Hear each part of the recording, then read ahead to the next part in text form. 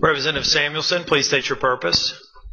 Moment of personal privilege. The lady is recognized for a point of personal privilege. The House will come to order.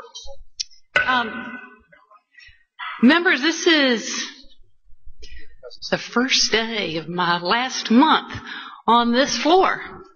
And because that can be trying, I wrote out some of my comments, but I thought I'd keep them kind of short. I wanted to talk about the things on my desk because all of us have things on our desk that mean something to us. And when we take the time to ask people, we're often curious to see them. So one of the first things that will always be on my desk is a box of tissue because it's so, you know what, cold in here that my nose is always running. And that is one of the few things that uh, I will not miss around here. The second is I have this license plate from the Catawba Lands Conservancy and the Carolina Thread Trail. As Representative Carney will know, we've worked on this for as long as I've been in politics, and it's the one project that in my entire time in politics I know I will love till the day I die. It is also symbolic of my love for the environment, which is based on what I believe is the Lord's commandment that the environment is a gift to us and we are to use it but not abuse it. And every time I look at this, it would remind me of that. This you heard about when we had the NASCAR Hall of Fame. This is my season pass to the NASCAR Hall of Fame. I love the science of NASCAR. But unexpected to me, last week it became the tool to an answer of a long time dream of mine to be invited to the White House. And I wasn't here last week because Pricey Harrison was kind enough to get my name on a list to honor Jimmie Johnson, who was one of my constituents, and I got to go to the White House because of NASCAR. My mother will be astounded.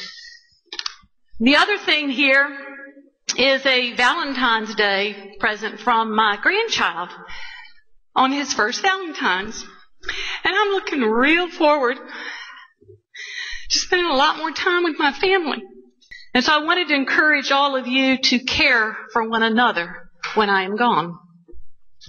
In here is, I used to call it mind candy because everybody else has candy, but it's verses from scripture, it's quotes from famous people.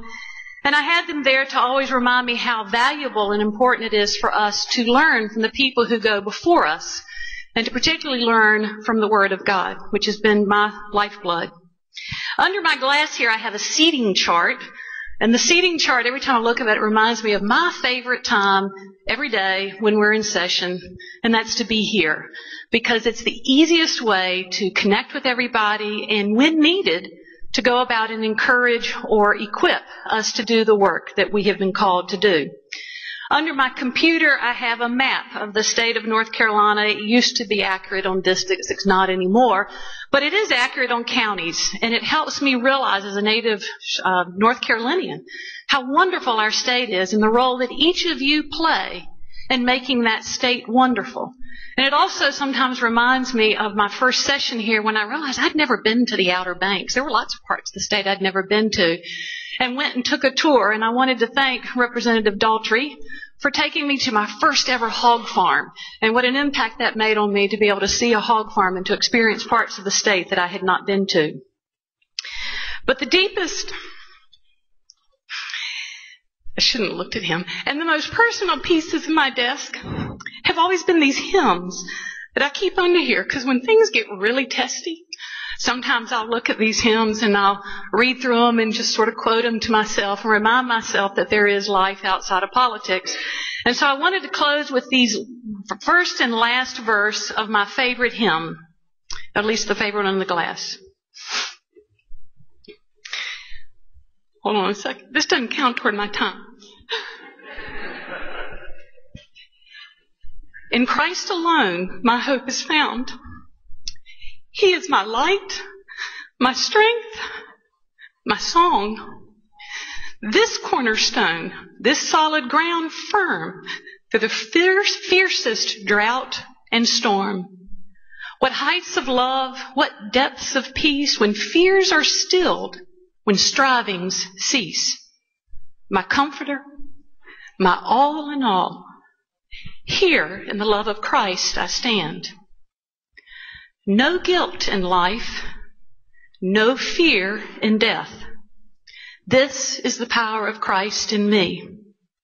From life's first cry to final breath, Jesus commands my destiny. No power of hell, no scheme of man can ever pluck me from his hand.